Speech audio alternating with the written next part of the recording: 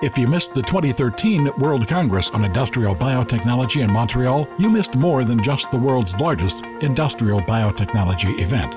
You also missed the exciting 10th anniversary of the World Congress and the best opportunity ever to network with leading biotech professionals and build lasting, profitable partnerships. But don't worry, you can mark your calendars now for May 12 through 15, 2014 in Philadelphia as the World Congress on Industrial Biotechnology begins its second decade.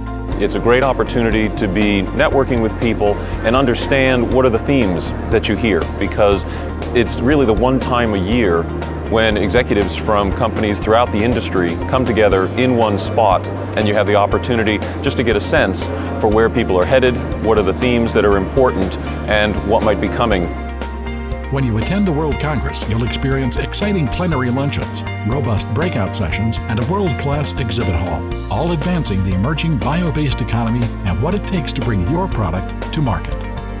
World Congress on, Industrial Biotechnology uh, has been a great place for us to start um, bringing our new product to this market, important market segment. And so it's given us an opportunity to talk to a wide range of people from different disciplines in this segment, both people who are thinking more strategically, as also as well as people actually working at a technical level in, in the fermentation area. So it's a great platform for us to actually start um, bringing our product into this, this new market.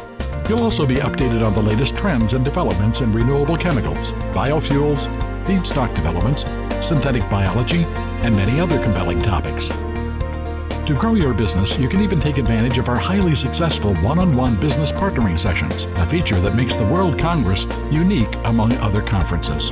We have 1,200 people here from the United States, from Canada, from Europe, from South America, all the, the leaders in the field of industrial biotechnology. They can spend a few days here and in that short period of time they can interact uh, here on the exhibit floor, learn from each other what various companies in various parts of the world are doing.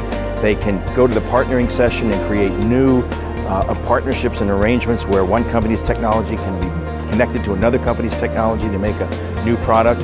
And then at all of the sessions, they can learn about the business of, of industrial biotech, the, policies related to industrial biotech, and it all comes together. All of this, plus the annual George Washington Carver Award for Excellence and Innovation in Industrial Biotechnology. This conference pulls some of the best and the brightest together to talk about the future, talk about possibilities. And that type of dialogue is essential for catalyzing that next set of opportunities. So I come here to network, and through that network, learn more about what is the possibilities for industrial biotechnology.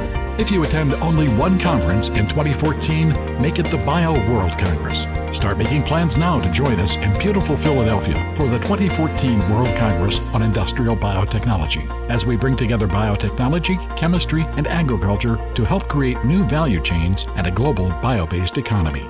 For more information or to register, go to bio.org slash World Congress. That's bio.org slash World Congress.